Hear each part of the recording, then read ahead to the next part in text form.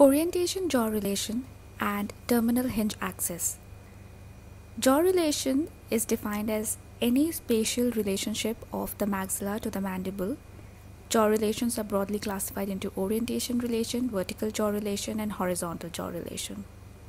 We have already discussed about vertical jaw relation and we have also discussed about centric relation and lateral and protrusive movements of the jaw. You can check out these videos in the prosthodontic playlist of the channel. In this video, we'll discuss about orientation jaw relation and hinge axis. Maxilla is a fixed entity. When the teeth of both jaws come in contact, maxilla becomes related to the mandible, so that entire craniomaxillary complex is articulated with a moving bone, which is the mandible. Now, this maxilla is positioned uniquely to the lower jaw, and this position varies for every person. And even its relation to the TMJ also varies in different people.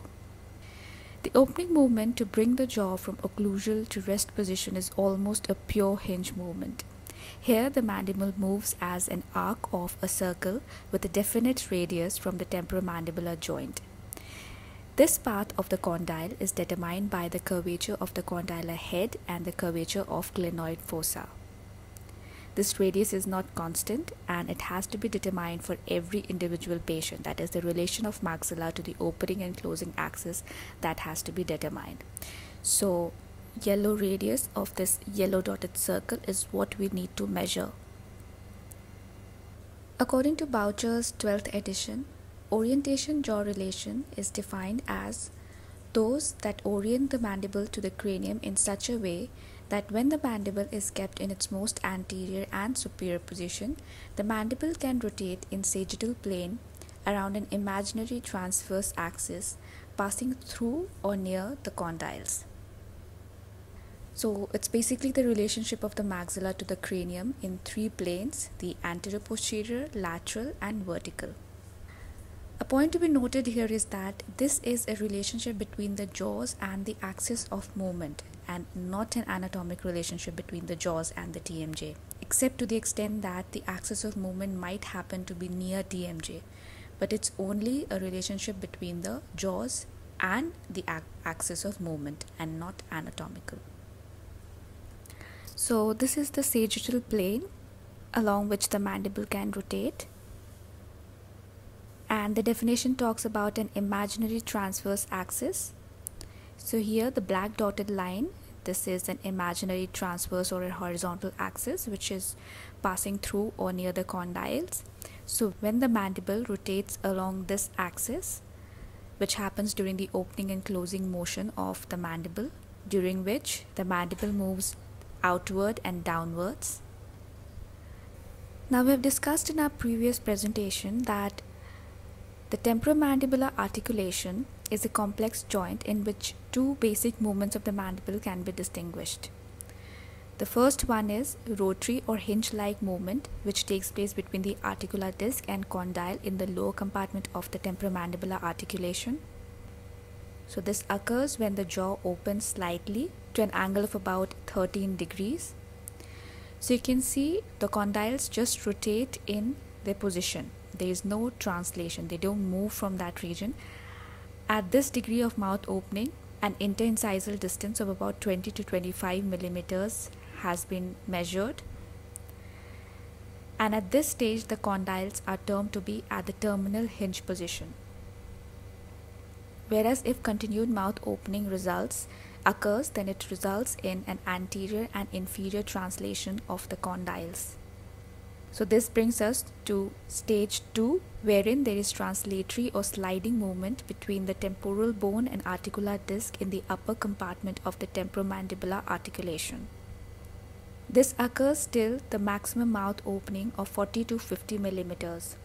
So here you can see the condyle not just rotates it also translates that is it moves as a whole from its posterior most position to the anterior position. So in stage 1, the jaws slightly open and the condyles exhibit a, a, hinge action. Whereas in stage 2, that is the translation phase, the jaws are widely open with maximum mouth opening and it results in a hinge and gliding action of the condyle. So this brings us to the second term which we shall discuss in this presentation that is the hinge axis. The glossary of prosthodontic terms defines hinge axis as an imaginary line passing through the two mandibular condyles and around which the mandible can rotate without translatory motion. And according to Heartwell, hinge axis is defined as an imaginary line around which the condyles can rotate without translation. The opening axis is an imaginary line around which the condyles may rotate during the opening and closing movements of the mandible. So here we say that it is an imaginary line as any three-dimensional object that move in a coordinated rotational path of motion. So here a three-dimensional object like the TMJ if it moves in a coordinated rotational path of motion which is a part of a circle or ellipse then it has an axis of rotation. So what is the biological significance of hinge axis in the fully dentulous condition with full complement of teeth the maximum intercuspation position is a position wherein the maxillary and mandibular teeth are in complete intercuspation. This maximum intercuspation position is mainly guided by the proprioceptive signals which are present in the periodontal ligament of the teeth. The signals guide the mandible during closing movement.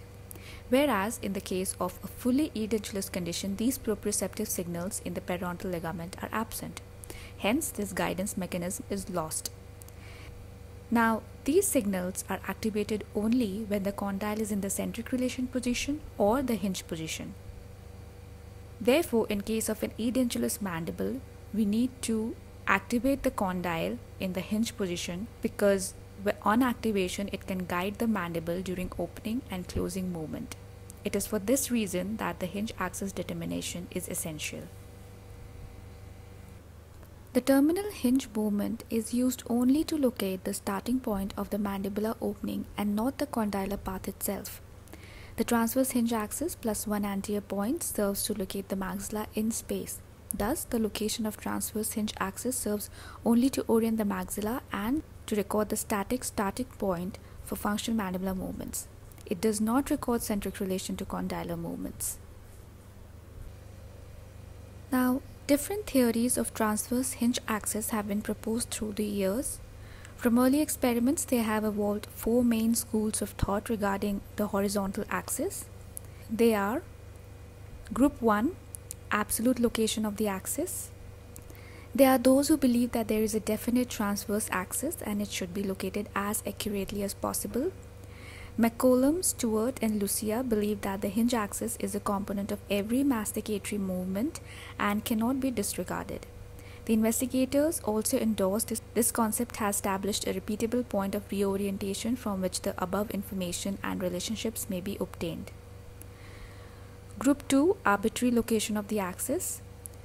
The second group includes those who believe that the arbitrary location is not worth the added effect Craddock for one stated that the search for the axis in addition to being troublesome is of no more than academic interest, though this group believed in the location of the axis.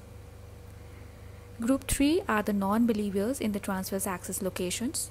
The third group believes it is impossible to locate the terminal hinge position with accuracy. Beck in 1959 proposed that the concept of transverse hinge axis is more theoretical than being practical and group 4 the split axis rotation.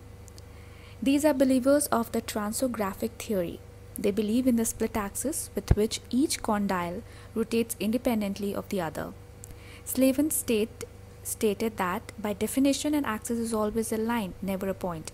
Again, by definition, an axis is invariably perpendicular to the path or plane of rotation it controls. This means that the transverse axis of each joint is a line and both of these are perpendicular to the same plane of opening and closing. So what is the advantage, what is the significance of hinge axis recording? It can help in altering the vertical dimension of occlusion on the articulator. It can aid in obtaining the centric relation records and verify them at the try-in at an altered vertical dimension of occlusion. So if you want to change the vertical dimension, in those cases, recording of terminal hinge axis can be useful. It can aid in minimizing the remounting procedures to perfect the occlusal scheme. It can aid in safely using of a cusp form or the anatomic posterior tooth where indicated with minimal occlusal adjustments in order to develop an occlusion which would preserve and restore oral function and the anatomic or the kinematic hinge axis face-bow transfer is the first step in recording the relationship of the maxillary arch to the condylar path. Once the maxillary cast is oriented on the articulator, the centric relation record completes the static or starting relationship between the maxillae and the condyles in the temporomandibular fossa. So basically we use hinge axis recording in order to orient the maxilla in the articulator and as we discussed previously that recording of the hinge axis it is just a starting point in order to establish the relationship between the maxilla and the mandible. So we record the hinge axis we orient the maxillary cast on the articulator accordingly and then we determine the maxillomandibular relationships. A point to be noted here is that the terminal hinge axis aids in orienting the maxilla to record the starting point for functional mandibular movement along same arc of closure. It does not record centric relation and it is used in full mouth rehabilitation not for complete dentures. So when we are constructing complete dentures, we record centric relation rather than terminal hinge axis. Whereas if we are doing a full mouth rehabilitation, we need to record the terminal hinge axis in order to orient the maxilla in the articulator. So this was just a broad idea of the hinge axis and orientation jaw relation. In a separate presentation, we'll discuss about the techniques for locating the hinge axis and face-bow transfer. So that will help us in understanding the topic better. I hope you have liked this presentation. Please do like, share, comment and subscribe to the channel. Thank you.